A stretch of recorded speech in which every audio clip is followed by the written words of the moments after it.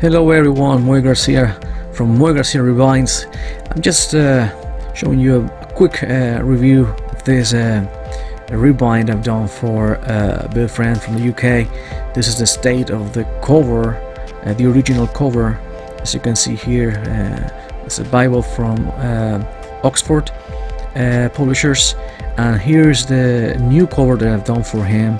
I stamped his name on the cover and uh, as you can see here I did uh, some raised hubs and gold stamping. Uh, a bit of a change right here right now. You see this is a sheepskin uh, merino sheepskin cover uh, that's replacing this uh, old very worn out edition. This is the Scofield reference Oxford.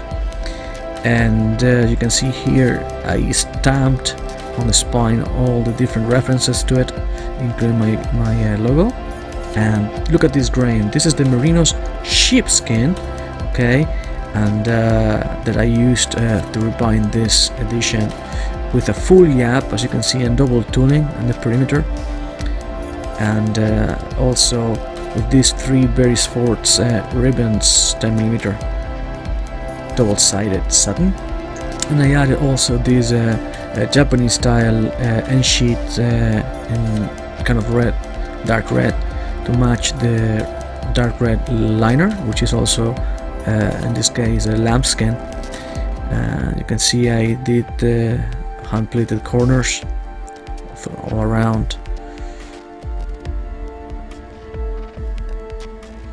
And uh, just gonna show you here the beginning of the the Bible itself which is a Scofield reference edition of the authorized version. All the New Testaments.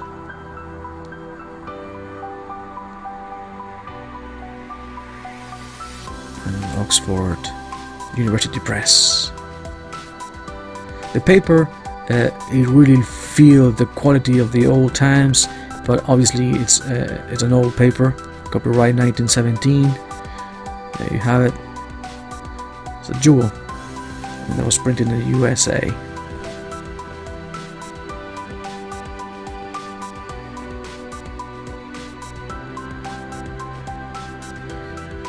Now flipping through the pages I could see some some um, uh, wear and tear but I tried to do my best to put everything together.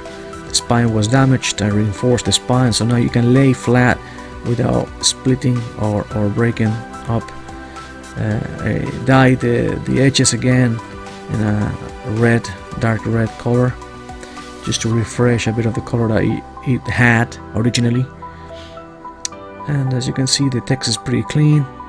There's only a few places where you can see a bit of uh, uh, damage uh, in these maps for example of moist from moisture. Probably they were left on the shelf somewhere with a bit of moisture but uh, there's nothing I can do. And here's my logo Moi Garcia stamped the interior of the cover.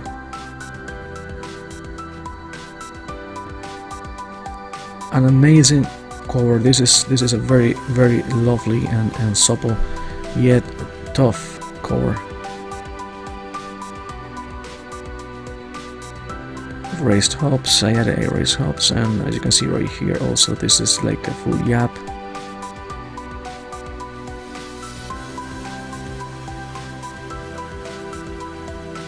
The grain is amazing and Bill wanted me to put his name on the cover so I did. As you can see here we can close the cover, the yap, everywhere, top, bottom.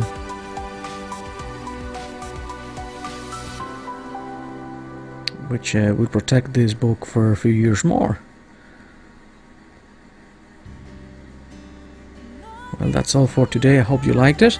Please give us a thumbs up and uh, uh, if you haven't subscribed yet please go ahead and do so now uh, if you have any comments or questions please uh, drop a few uh, uh, lines in the comment section and I'll be happy to help you out. Until next time, another Bible review or rebind.